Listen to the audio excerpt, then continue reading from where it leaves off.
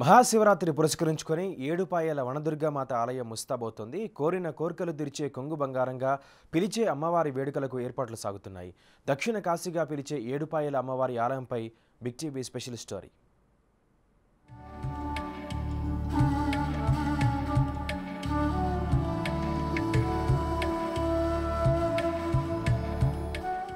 ఓవైపు దుర్గమ్మ ఆలయంతో భక్తి పారవస్యం మరోవైపు ఆధ్యాత్మిక వైభవంతో పరిసర ప్రాంతాలు. ఇవి మెదక్ జిల్లాలోని పాపన్నపేట మండలం నాగసానిపల్లిలో ఏడుపాయల నది ఒడ్డున వెలిసిన పుణ్యక్షేత్ర వివరం. వందల ఏళ్ళ చరిత్ర కలిగిన ఏడుపాయల వనదుర్గామాత ఆలయంగా వెలుగులోకి వచ్చిన ఈ ప్రాంతం నిత్యం భక్తులతో కిటకిటలాడుతూనే ఉంటుంది. అమ్మవారి దర్శనం కోసం వచ్చేవారితో పాటు పర్యాటక ప్రాంతంగానూ విరాజిల్లుతున్న ఈ ప్రాంతంలో కాసేపు ఆహ్లాదకరంగా సేద తీరితే ఆ అనుభూతి చాలా పరవశం.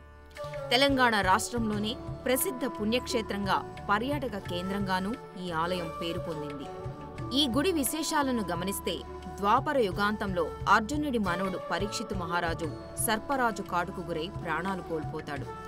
పరీక్షితు మహారాజు కొడుకైన జనమేజయుడు తన తండ్రి మరణానికి కారణమైన సర్పజాతి సంతతిని సమూలంగా అంతమొందించాలని నిర్ణయించుకుని ఈ ప్రదేశంలోనే సర్పయాగం తలపెట్టాలని ఇందులో భాగంగానే యజ్ఞగుండాలు నిర్మింపజేసి జమదగ్ని ఆత్రి కశ్యపి విశ్వామిత్ర వశిష్ఠ గౌతమి భరద్వాజ వంటి సప్త ఋషులతో ఇక్కడ యజ్ఞం నిర్వహించారని చరిత్ర చెబుతోంది.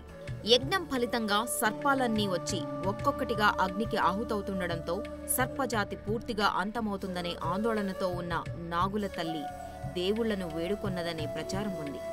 నాగుల తల్లి మొర ఆలకించిన గరుత్మంతుడు నాగులకు పుణ్యలోక గదులు ప్రాప్తించేందుకు యజ్ఞగండాలను ఆర్పేయాలని భావించి పాతాళంలో ఉన్న భోగవతి నదిని భూమిపైకి తీసుకునొచ్చాట.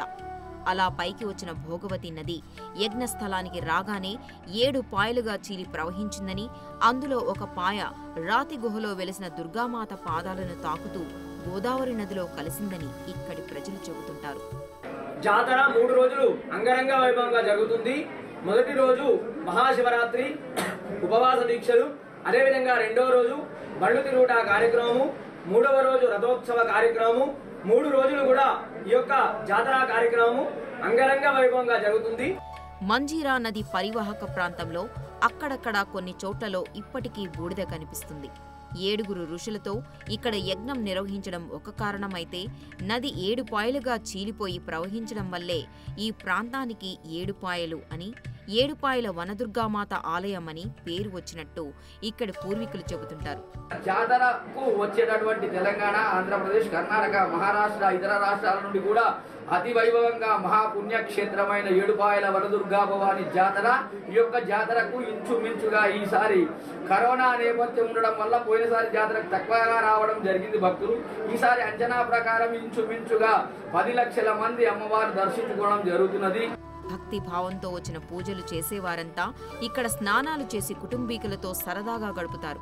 ఏటా మహాశివరాత్రి నాడు ఈ ఆలయంలో ఏడుపాయల జాతర ఉత్సవాలను భక్తి శ్రద్ధలతో నిర్వహిస్తారు. తెలంగాణ ఆంధ్రప్రదేశ్ కర్ణాటక మహారాష్ట్ర రాష్ట్రాల నుంచి భక్తులు పెద్ద సంఖ్యలో ఇక్కడికి వస్తారు. మంజీరా నదిలో పుణ్యస్నానాలు ఆచరించి అమ్మవారిని దర్శించుకుంటారు. తమ కోరికలను అమ్మవారికి విన్నవించుకుంటారు. దశాబ్దాల తరబడిగా ఇక్కడ జాతర జరుగుతుండడం వల్ల ఆలయ ప్రాశస్త్యాన్ని భక్తుల నమ్మకాన్ని దృష్టిలో ఉంచుకుని ఏడుపాయల జాతరను తెలంగాణ రాష్ట్ర ప్రభుత్వం అధికారిక ఉత్సవంగా నిర్వహిస్తుంది.